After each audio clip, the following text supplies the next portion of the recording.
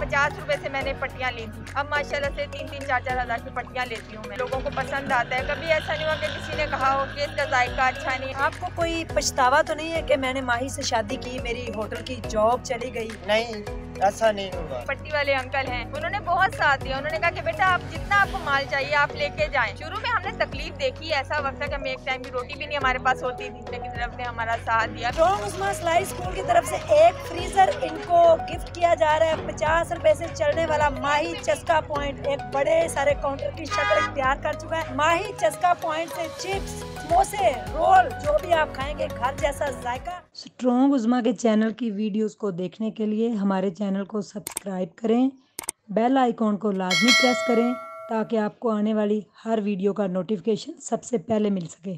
Thank you बिस्मिल्लाहिर्रहमानिर्रहीम। अस्सलाम नाजरीन। मैं हूँ उस्मा और आप देख रहे हैं आपका चैनल स्ट्रॉन्ग उस्मा आज मैं मौजूद हूँ माही चस्का पॉइंट पे। मज़ा तो सिर्फ़ खाने में है लेकिन माही कौन है कहाँ से चली कहाँ पहुँची और माही की कहानी क्या है ज़िंदगी की स्टोरी क्या है इनके साथ खड़े जो इनके हस्बैंड हैं ये इनसे कैसे मिली और फिर कैसे माही चस्का पॉइंट बना। जानते हैं सारी कहानी उनसे।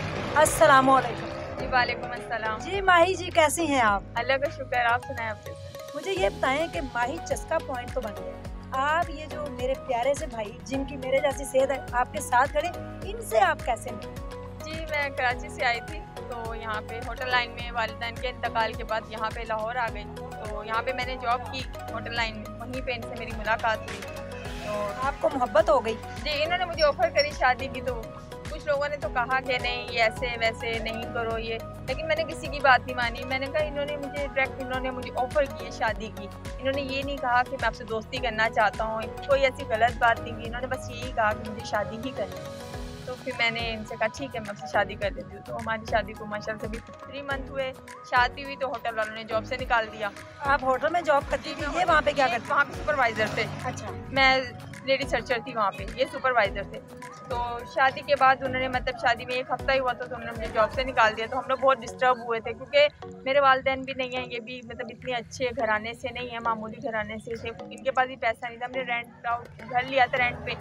तो उसके बाद हमारे पास मतलब हमने उनसे रिक्वेस्ट भी की एक दो महीना हमें जॉब करने दे लेकिन उन्होंने कहा कि नहीं आप सिर्फ़ शादी करने की वजह से? शादी की वजह से जॉब से निकाल दिया। तो हम लोग बहुत परेशान हुए। मैं रोई। इन्होंने कहा कि रो नहीं, ऊपर अल्लाह को देखो बस। और कोई ऐसा नहीं, अल्लाह को देखो। अल्लाह को देखा तो फिर होटल से मुझे थोड़े से पैसे उन्होंने मुझे दिए।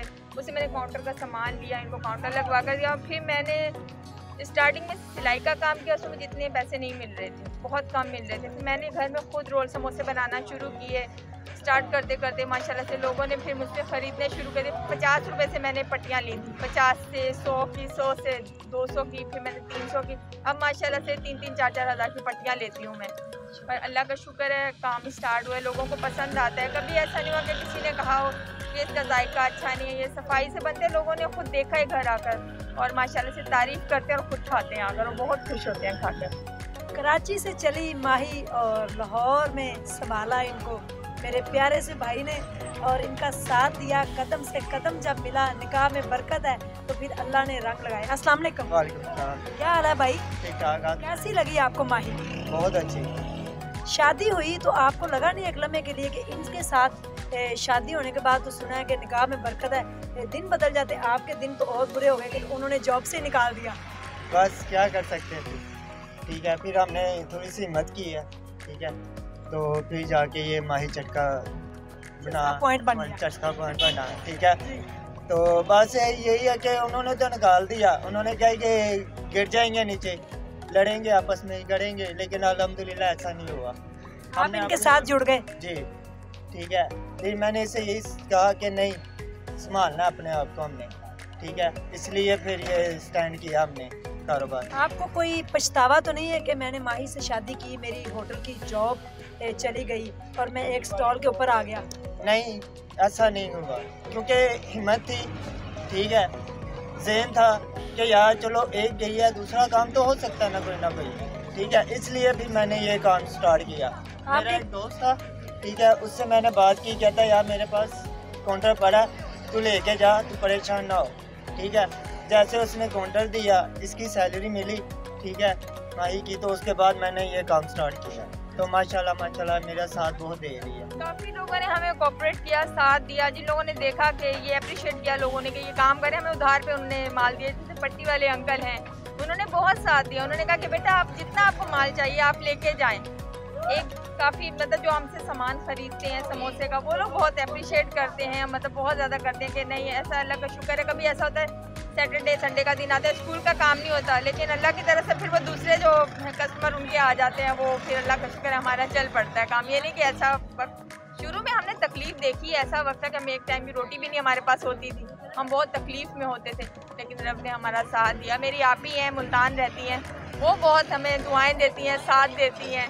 लेकिन अल्लाह पाक उनकी मुश्किलें आसान करे और बहुत खुशियाँ दें अल्लाह ताला इनके बारे में लोग क्या कहते थे? इनके बारे में यही कहते थे ये दुबला है ये ऐसा है ये गरीब ऐसे शादी नहीं करो ये तुम्हें कुछ नहीं देगा ये तुम्हें रोड पे ले आएगा ये करेगा। मैं कहती थी कोई बात नहीं अल्लाह अगर मेरे नसीब में है ना इसको अल्लाह ताला मेरे नसीब का देगा और अल्लाह ताला ने इनको दिया ये खुश है बहुत। और मज़े की बात ये देखें मार्च की पैदाइश इनकी है मार्च की मेरी है। इनका भी स्टार प्यार मिल गए। बिल्कुल ऐसे। ये सोचते हैं मैं कर देती मैं सोचती हूँ ये कर देते ऐसी अल्लाह ताला ने हमारा साथ जी केमिस्ट्री बड़ी अच्छी बन गई इनकी मिल गई। आपस में केमिस्ट्री कभी कभी मिलती है। जोड़े भी आसमानों में बनते हैं लेकिन कराची और लाहौर का 1200 किलोमीटर का सफ़र जो है वो माही ने तय किया इनके लिए। फिर ये दोनों एक हुए और इनके छोटे से माही चस्का पॉइंट के लिए स्ट्रॉन्ग उजमा सिलाई स्कूल की तरफ़ से एक फ्रीज़र गिफ्ट किया जा रहा है आपको। आप सुबह आएँगे मेरे पास और आपको फ्रीज़र में गिफ्ट करूँगी। उसके अंदर आप अपना रोल, पट्टी, समोसा जो भी उसके अंदर फ्रीज करेंगे, फिर आप अपना काम चलाएँगे। तो जो भी ऐसे लोग, बहादुर हैं, जो ब्रेव हैं, जो काम अपना करना चाहते हैं स्ट्रॉन्ग उस्मा स्लाइस को हमेशा से उनके साथ खड़ा है। इन लोगों के लिए हज़ारों दुआएँ कीजिएगा। मैं उन लोगों को पैगाम देना चाहूँगी मतलब जो हम जैसे लोग हैं, हिम्मत तोड़ देते हैं। मैं उनको यही कहूँगी कि आप हिम्मत मत तोड़ें, अल्लाह को देखें और हिम्मत करें। हमने बताया ना स्टार्ट में हम लोग भूखे रहे हैं, लेकिन हमने साथ नहीं छोड़ा एक दूसरे का। लेकिन अल्लाह ताला ने साथ दिया तो आज हम इस मकाम पे अल्लाह ताला इससे आगे इन ताला काफ़ी लोगों ने हमारा साथ दिया है और दे भी रहे हैं। अल्लाह ताला उन सबको खुशियाँ दे जो हमारा साथ दे रहे हैं। इन जी स्ट्रॉन्ग उस्मा सिलाई स्कूल की तरफ़ से एक फ्रीज़र इनको गिफ्ट किया जा रहा है। पचास रुपए से चलने वाला माही चस्का पॉइंट एक बड़े सारे काउंटर की शक्ल तैयार कर चुका है। मक्का कलोनी गली नंबर 11 में आए।